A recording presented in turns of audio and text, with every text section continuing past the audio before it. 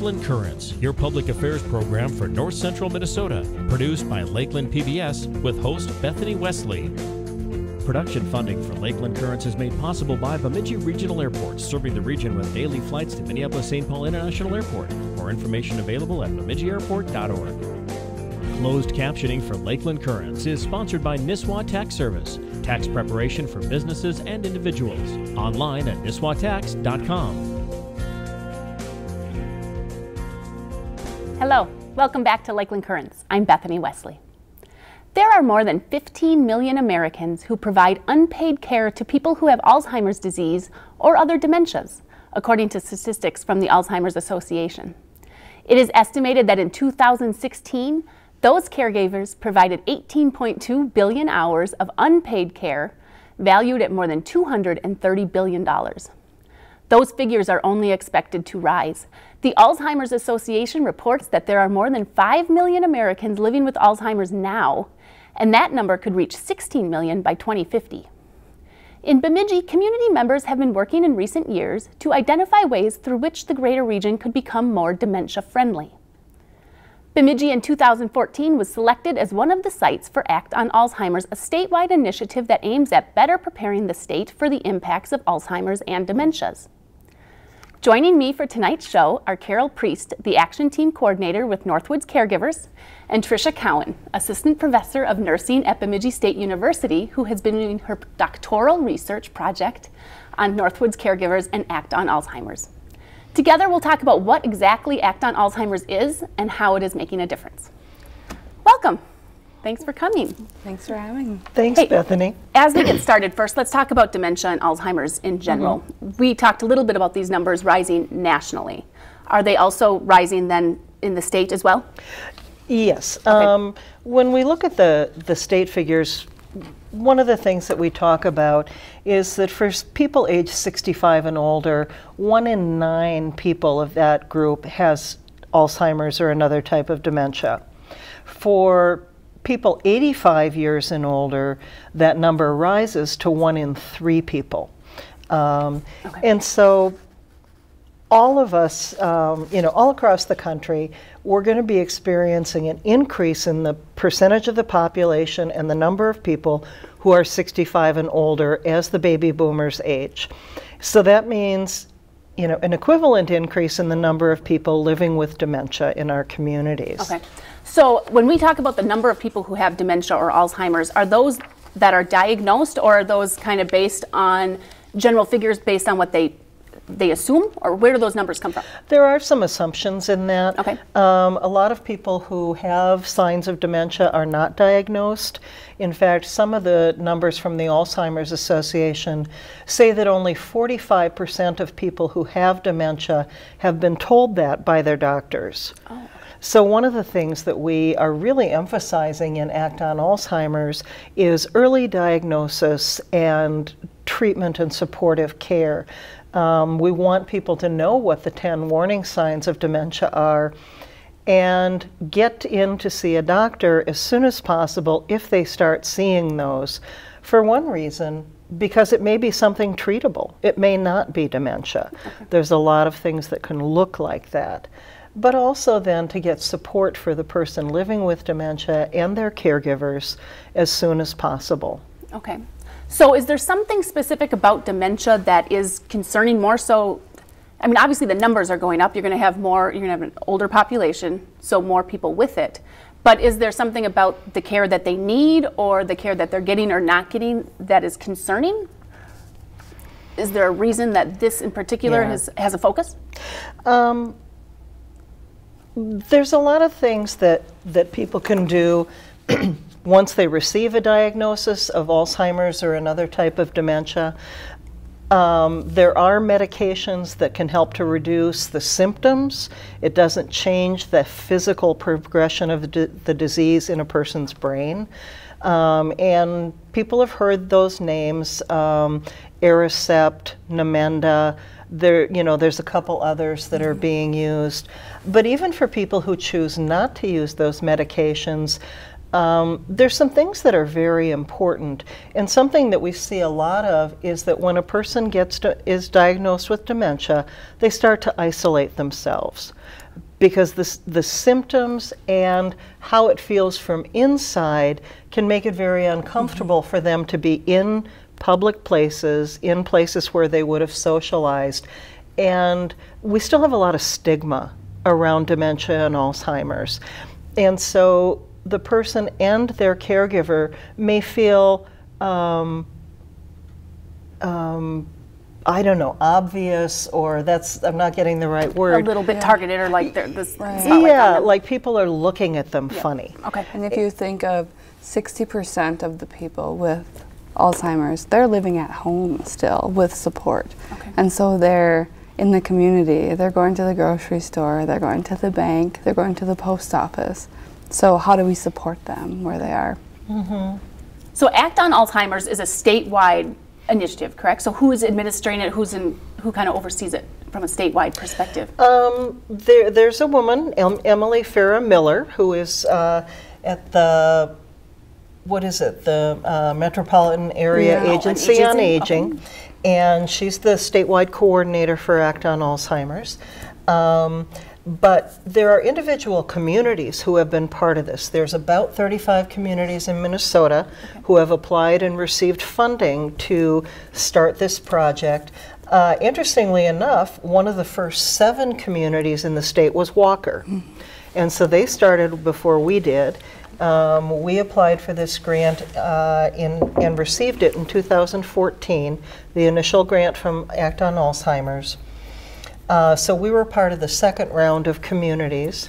And if I remember correctly, Walker was the only rural community, if I if I recall that correctly, from that first that first seven. But it's become a little bit more common now to Yes. reach out to the rural areas, correct? Okay. And if someone were to go on the Act on Alzheimer's website, there's a map that shows the distribution of communities around the state. And, um, you know, it's, considering population, it's pretty evenly distributed per capita throughout. Um, so there's a lot of rural communities who have gotten involved in this. There's also cultural communities that have had uh, started Act on Alzheimer's projects. Um, one of the first ones was the St. Paul Neighborhood Churches, which was a coalition of African American churches. Uh, there's a Hispanic group in the cities that had an Act, I- Act on Alzheimer's project, and there's been a Somalian group as well. So are you all able to share information back and forth and then learn Mm-hmm. from each other to see, I mean, what worked down there might not work here and vice versa, but is that an ongoing conversation?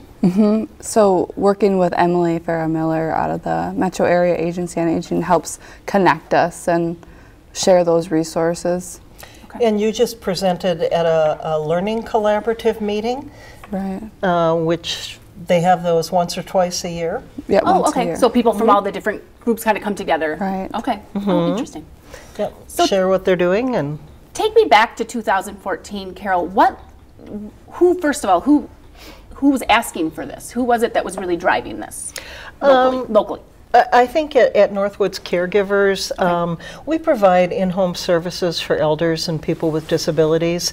Uh, we do a lot of caregiver coaching, um, but we were working with a lot of people who were living with dementia and with their caregivers and seeing the stresses that are happening with those families. So you had seen you had seen people going through some difficult difficulties while trying to Very difficult. this disease. Okay. A- And hearing about, like I was saying, ways that people have withdrawn from their communities because they feel conspicuous.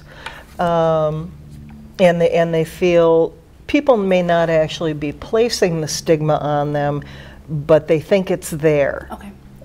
Um, and so we became aware of the, the grant opening with Act on Alzheimer's and applied for that. And so in May of 2014, we started in the four step process that comprises Act on Alzheimer's. And at that time, our project was called uh, Act on Alzheimer's Bemidji. So, in the first step, we formed an action team, and that included people from more than what you would expect as the typical folks involved. Um, yes, elder service providers, healthcare providers, um, but also um, people from businesses, from banks, uh, legal and financial planning, uh, people from government agencies. Um, Were these people you had to reach out to, or that had their own, for whatever reason, personal interest, heard about it, and got involved? Was it hard to drum up that kind of cross section of support? Yes and no. um, we had some people that we reached out to initially who were our main supporters in getting the funding and becoming part of the action team. And that also um, included a woman living with Alzheimer's and her husband, who was her caregiver, um, is her caregiver still. Um, and, then some obvious places like adult day services of Bemidji, where you know many people with dementia go for day day support and care. Um, Sanford Health Care, um, Calvary Lutheran Church. So we really reached out to faith communities as a place where people get support and, and have a sense of community. Um, First National Bank, the 55 Connection program. They've been, you know, Linda Stensang has been very active with us. Um, Choice Therapy, one of their staff. So a lot of places, um, some not so obvious. Okay.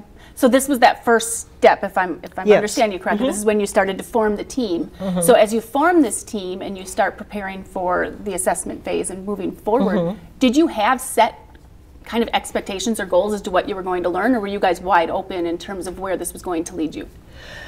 We knew what our own thoughts were about it. We knew our estimation of what was available in the community and where the gaps were.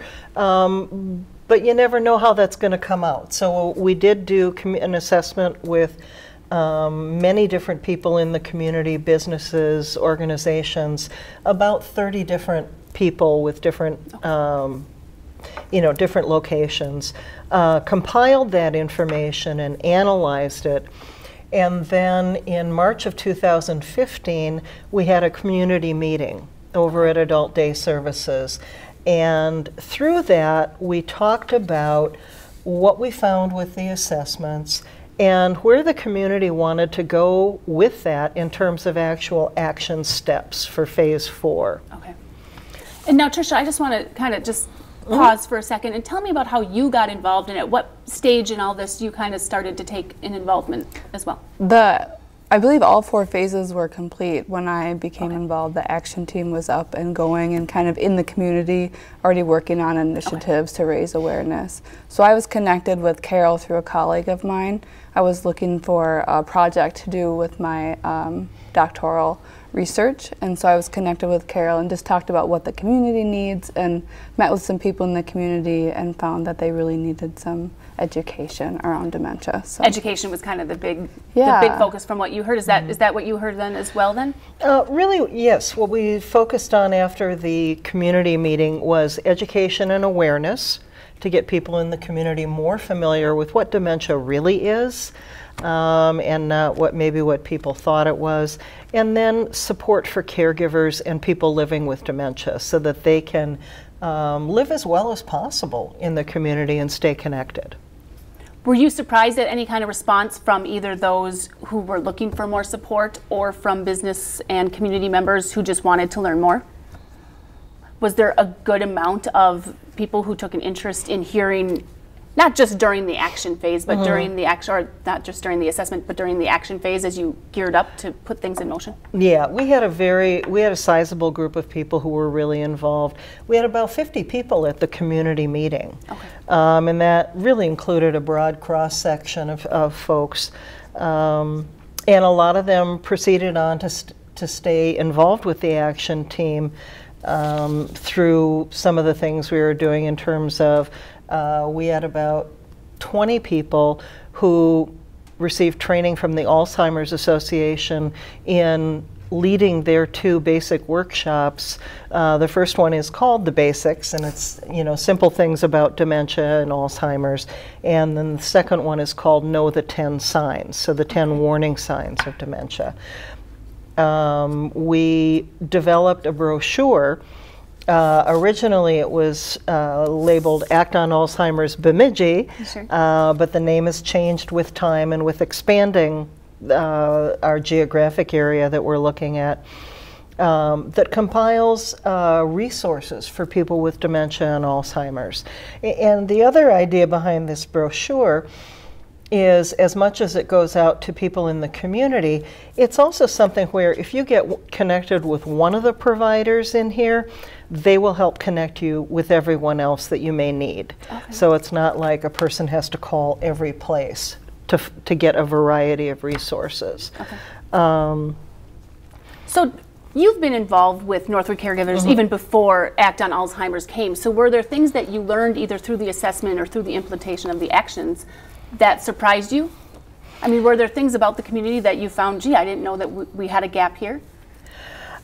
I think it was really, um, it was a very good surprise that we really have a lot of services in Bemidji.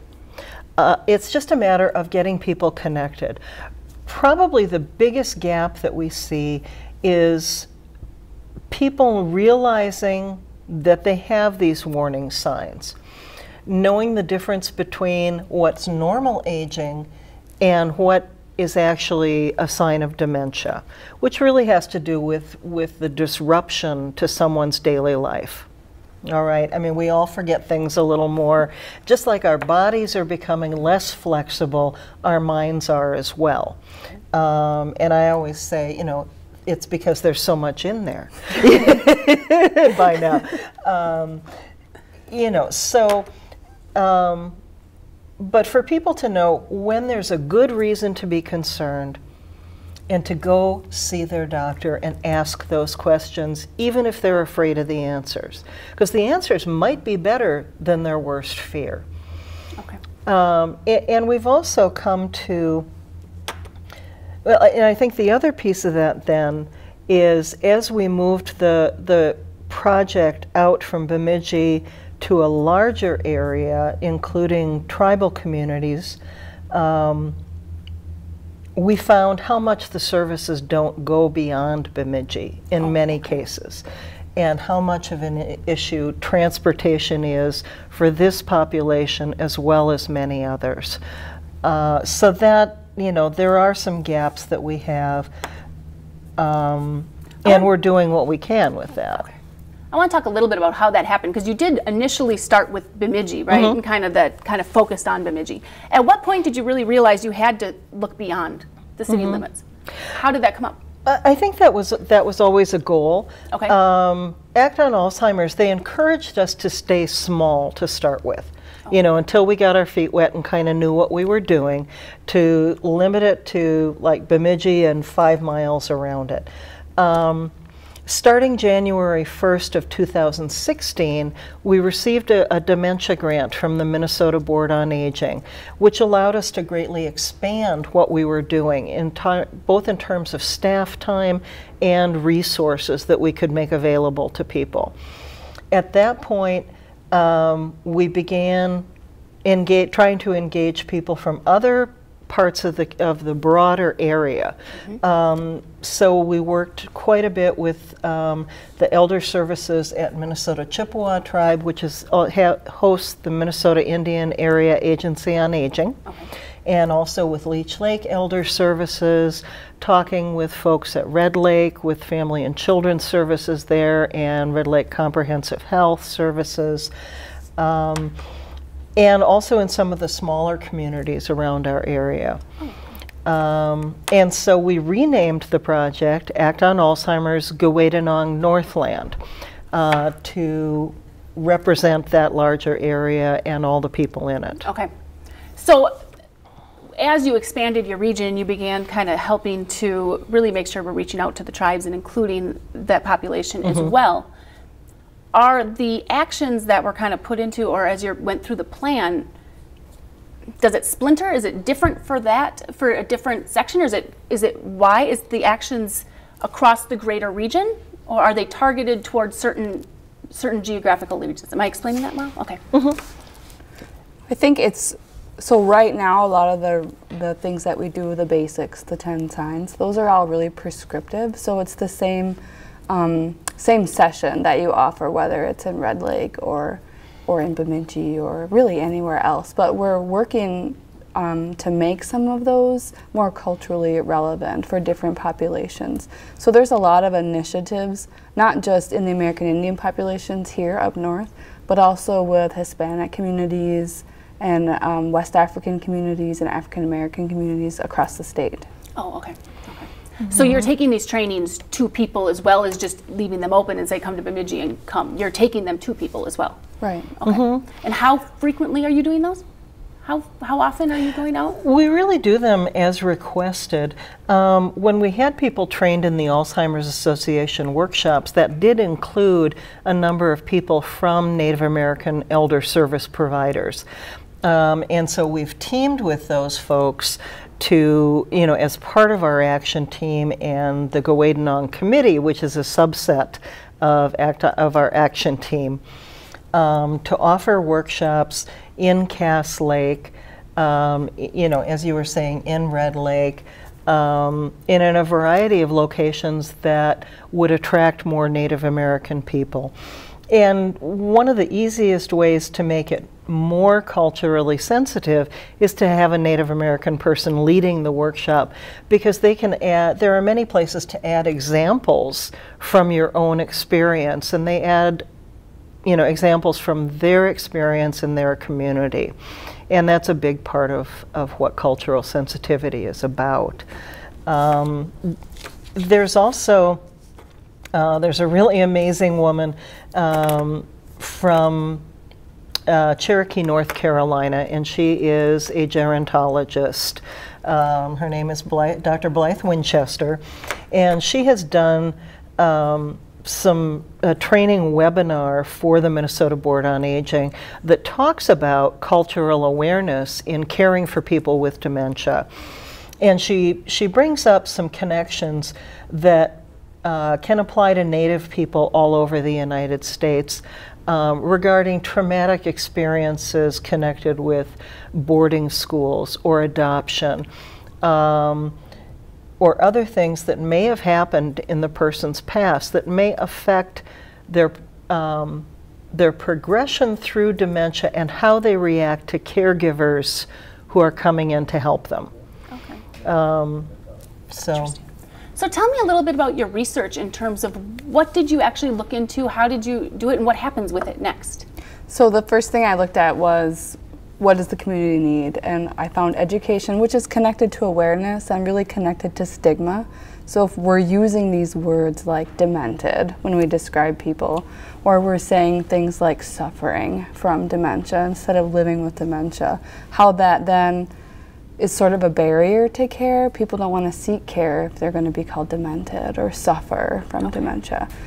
And then I with Carol's help, found the Dementia Friends program, which is an Act on Alzheimer's initiative as well, and it's a one-hour information session.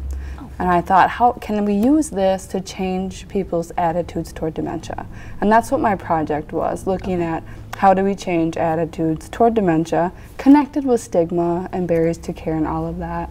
So we implemented the De Dementia Friends session, oh. and I used a pretest and then offered the Dementia Friend session and then did a post test after to see if there was a change in people's attitudes toward dementia. And we found out there was, that after people participated in a Dementia Friend session, they had more positive attitudes toward people with dementia. So is Dementia Friends different than the 10 steps? How does it how are they unique? It is. Dementia Friends talks about the warning signs, normal signs of aging, but it also talks about communication techniques, some simple things about what dementia is versus Alzheimer's, how are they different.